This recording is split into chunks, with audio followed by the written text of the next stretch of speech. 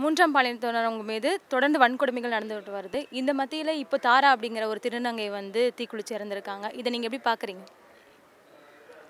அதாவது திருநங்கைகள் மீது தொடர்ச்சியாக வன்கொடுமை அப்படிங்கிறது வந்து நிறைய காலகட்டங்களிலிருந்தே நடந்து வந்துட்டு இருக்குது ஆனால் இப்போ தான் சமீபத்தில் திருநங்கைகளுடைய எண்ணிக்கை அதிகமாகும் பொழுது தான் திருநங்கைகளுக்கான பிரச்சனைகளை பற்றி நிறைய ஊடகங்கள் வழியாக வெளியில் வரும்போது தான் அந்த வன்கொடுமை அப்படிங்கிற விஷயங்கள் வந்து வெளியில் வருது. ஆனால் ஆரம்ப காலகட்டத்திலிருந்தே திருநங்கைகளுக்கான வன்கொடுமைகள் நடந்துட்டு தான் இருக்குது.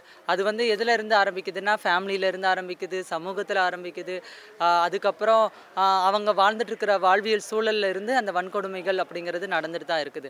இப்போ சா சமீபத்தில் தாராங்கிற திருநங்கை இறந்தது கூட வந்து போலீஸாரால் வெர்பல் அப்யூஸ் பண்ணப்பட்டு வெர்பல் அப்யூஸ் பண்ணப்பட்டு அவங்க வந்து ஃபிசிக்கலாகவும் மென்டலாகவும் பாதிக்கப்பட்டு இவங்க சொல்கிறாங்க இல்லையா தற்கொலைக்கு தற்கொலை அப்படிங்கிற ஒரு விஷயமாக தான் அவங்க சொல்கிறாங்க ஆனால் இது நிச்சயமாக தற்கொலை கிடையவே கிடையாது.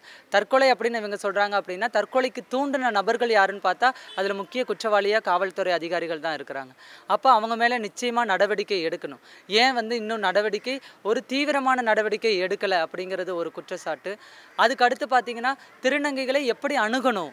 காவல்துறையும் பொதுமக்களும் எப்படி ஒரு அணுகணும் அப்படிங்கிற ஒரு பொது வரையறை வந்து இதில் கிடையவே கிடையாது. ஒரு பெண்களாக இருக்கட்டும் பெண்களுக்கான வரையறை நிறையா இருக்குது பெண்கள் கா பெண்களை வந்து பெண்கள் காவல் நிலையத்தில் வச்சு தான் விசாரிக்கணும். இத்தனை மணிலேருந்து இத்தனை மணி வரைக்கும் தான் விசாரிக்கணுங்கிற ஒரு கைட்லைன்ஸ் இருக்குது. ஆனால் திருநங்கைகளுக்கு அப்படி கிடையவே கிடையாது. இதில் வந்து ஆஹ், ரொம்ப அதிகமாகவே வந்து ஒரு சரியான புரிதல் இல்லை அப்படிங்கிறது தான் நாங்கள் சொல்கிறோம் ஸோ இந்த தனியான தனி பாதுகாப்பு சட்டங்கள் இல்லை. பாதுகாப்பு உரிமை சட்டங்கள் இல்லை திருநங்கைகளுக்கான ஒரு அணுகுமுறையான டெஃபினேஷன் இல்லை. இது எல்லாமே வந்து தனியாக திருநங்கைகளுக்கான பாதுகாப்பு உரிமை சட்டங்கள் இருந்தால் மட்டுமே தான் இந்த சமூகம் இனிமே வன்கொடுமை நடக்காமல் தடுக்கிறதுக்கான ஒரு வழியாக இருக்கும். இதற்காகத்தான் நாங்கள் வந்து நாங்கள் தயாரித்த ஒரு மாதிரி மசோதா வந்து ரெடி பண்ணியிருக்கிறோம்.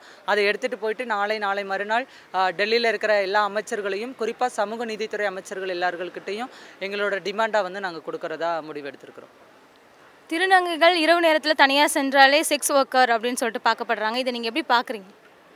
ஆஹ் இது வந்து சமூகத்தோட பொது புத்தி பொது பார்வையை வந்து மாற்றி தான் ஆகணும்.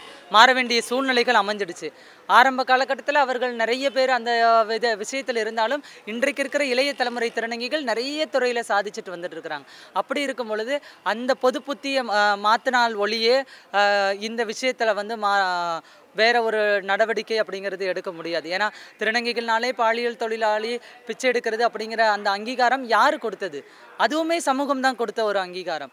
இன்னைக்கு அதில் மாற்று வழிகளும் நிறைய செஞ்சுட்டு இருக்கிறாங்க. அப்படி இருக்கும்போது அந்த மாற்று இதையும் நம்ம ஏற்றுக்கிட்டு தானே ஆகணும். அப்போ இதை வந்து முழுக்க முழுக்க சமூகத்தினுடைய புரிதல் சம அரசினுடைய பார்வை இது எல்லாமே மாறணும் அப்படிங்கிறது தான் இதோட முக்கியமான ஒரு விஷயம். தாராவோட தற்கொலை பொறுத்த வரைக்கும் அடுத்த கட்ட நடவடிக்கையாக நீங்கள் என்ன எடுக்க போகிறீங்க ஆஹ் நிச்சயமா ஆஹ் தமிழக அரசு ஒரு முறையான ஒரு எங்களுக்கு மனநிறைவான ஒரு முடிவை எடுப்போம் அப்படிங்கிறத நாங்கள் நம்புகிறோம் அது ஒரு பக்கம் போய் கொண்டிருந்தாலும் நாங்கள் திருநங்கைகள் சார்பாக லீகலான நிறைய விஷயங்கள் பண்ணிகிட்டு இருக்கிறோம். ம- மனித உரிமை ஆணையத்தின் மூலமாகவும் விசாரணை நடத்திட்டு இருக்கிறோம். காவல்துறைக்கும் கொஞ்சம் டைம் கொடுத்துருக்குறோம் விசாரணை நடக்கிறதுக்கு. லீகலாக லீகலைஸாக எடுத்துகிட்டு போகிற வேலைகள் வந்து நடந்துட்டு இருக்குது. அது வந்து அடுத்தடுத்த கட்டமாக வந்து வெளியில் வரும். மத்திய அரசாங்கத்தை எதிர்த்து எங்களுக்கு தவறான ஒரு கருத்துக்கள் வந்து வெளியிட்டிருந்தாங்க. இந்த த மத்திய அரசாங்கம் அந்த அதை முன்னிட்டு நாங்கள் மாபெரும் ஒரு மவுன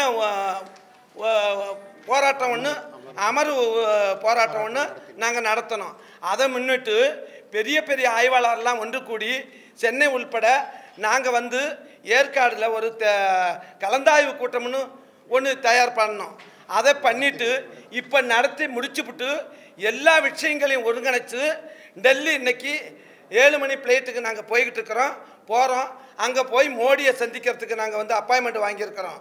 அங்கே போய் மோடிக்கிட்ட கொடுத்து திருநங்கைகளோட வாழ்வாதாரத்தை வந்து முறியடிக்கக்கூடாது திருநங்கைகளுக்கு வந்து ஒரு நன்மை பலன் கிடைக்கணும் அப்படிங்கிறத வந்து நாங்கள் செயல்படுத்துறதுக்கு மத்திய அரசாங்கத்தை நோக்கி போய்கிட்டு இருக்கிறோம் நாங்கள் இந்த இதே மாதிரி தவறான கண்ணோட்டங்களும் தவறான கருத்துக்களும் இருக்கக்கூடாது.